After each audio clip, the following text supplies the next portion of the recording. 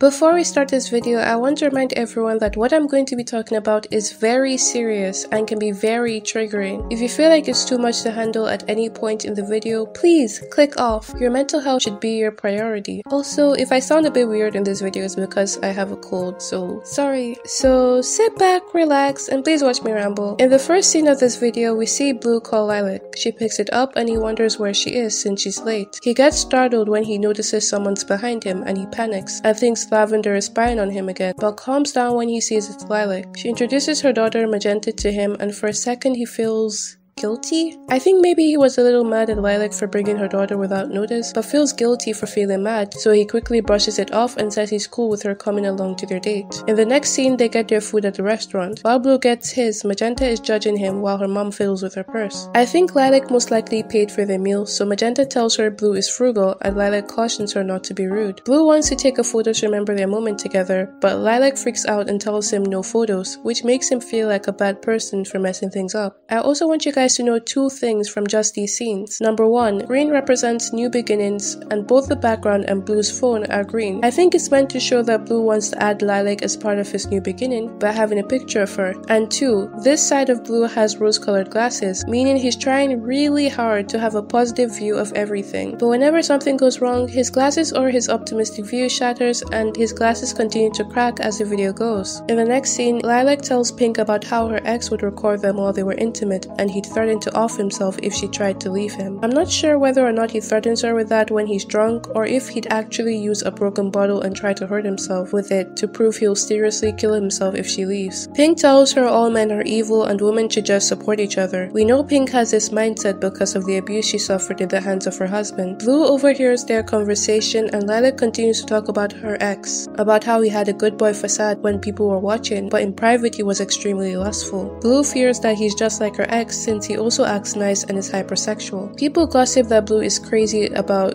you know what, and he's close to snapping but gets distracted by Lilac who asks him if he was in a relationship with Pink. But he lies to her. Notice how Lilac sees him as he normally is, but when Blue lies to her, he sees himself as bad because he feels guilty for lying. Lilac notices Blue staring at her at work, and Pink notices too and gets jealous. Notice how her lip is now dark blue. As she tries to stop him from looking at Lilac, who gets suspicious of Pink and Blue's relationship. This causes her to tell Blue she needs time to think about the relationship, and it makes Blue feel like he's done something wrong. We get backflash scenes of when Lilac was still with her ex, and Pink and Blue were in a healthy relationship. Lilac gets a call from her ex and tells him she's at work, but he says something that triggers her and gets upset when she hangs up on him, and both Pink and Blue notice her demeanor's changed and are worried about her. I don't think Lilac's ex was physically abusive, but I think he's meant to represent emotional abusers who use threats, gaslighting, guilt tripping, constant monitoring, manipulation, etc. to control their victims. I think what he told her that triggered her had to do with the videos he'd record of them in private. Maybe he wanted to tell her he liked a certain part of the video or he showed it to someone or something like that. But either way, I think it has to do with the videos he has of them because Lilac only looks that triggered when someone is taking a photo or video of her. The next image after that is Blue sending Lilac a message with a green background. So this means the next scene is after Lilac broke up with her ex and was getting closer to Blue, who is her new beginning. The next scene was when Lavender had taken Blue for shopping and got Lilac to help them. Lavender gets a call, but Lilac is paranoid is from her ex. And in the next image, we see the same green background with Lilac's kids, Magenta, and her son, who appears to be disabled. Also, Vic hasn't named him yet, so I'll call him Maroon, since a comment replied him with that suggestion, and I think it's fitting since maroon is a reddish brown color. So, with the green background and her kids, I think this symbolizes Lilac is prioritizing her children more and no longer worrying about her ex who was draining all her energy. Anyway, something's wrong with Maroon, so Lilac is distracted with him and doesn't notice Purple's trying to talk to her, so Purple gets frustrated and takes it out on Blue. I also want you guys to notice that her infliction leaves a scar on him, because all abusers' actions leave scars on their victims, whether physical or emotional, which we see in the What I Want Part 2 meme where Blue shows everyone his scars. The next image is a little confusing to me because I'm unsure of what new beginning this is meant to represent, because it shows Pink sending Blue a message, but maybe it's meant to show at that stage Pink started abusing Blue, but the next scene after that is Blue getting angry with people gossiping about how Blue was leading Red on, so he can have you know what with her. So maybe Pink had asked him about the rumors or something. I'm not sure, but I'm also starting to think that maybe it wasn't Pink that sent him a message but Lilac, since we know while they were going on dates, that was the same time period where people were spreading rumors about Blue. After that, we see a guy give his partner flowers, which makes Lilac tell Blue she'd like him to give her flowers too. But Blue doesn't see the point of giving her flowers. Vic had mentioned that in this video, a flaw of Blue would be shown that isn't related to his trauma. And I was confused by this as all the flaws Blue's had in this video seemed related to his trauma. But this scene is the only one that doesn't to me. Vic mentioned mentioned that this flaw of his is something all his ex-girlfriends, including Pink, can confirm. So I think the flaw of Blue that's shown in this video is that he doesn't get romantic gestures, and he doesn't know how to give gifts or take care of his girlfriend and things like that. This is also cemented with how he let Lilac pay for everything for their date in the beginning of the video. Either that or maybe his flaw is that he's just broke. I could be wrong though, but that's just my theory. While talking with Lilac on the phone, Blue fantasizes about her, but gets mad at himself for thinking about her that way. In the next scene, we see he took a picture of Lilac while she was asleep, and Lilac sees this and gets mad at him for doing that without her consent. This is just a little info I find interesting, but it seems he took this picture after waking up in this video, since the angles look similar. In that video, Blue looks really hurt. I guess maybe he feels like he'll lose her, so I think he just wanted to have a piece of her to carry with him. But back to the video, Lilac is on the phone with maybe a friend telling them about her wishes of getting married and growing old with someone. In the next scene, we see Blue text Lilac when she'll be off work and if she's going to take care of Maroon after. This makes me think that maybe Lilac has half custody with Maroon, or maybe he's always at the hospital, but sometimes she has him with her, or maybe he's not even her son, but she takes care of him sometimes. We also see that Lilac has a photo of her and Pink as her profile picture, so they're probably really close. Pink sees he's texting Lilac and tries distracting him with work.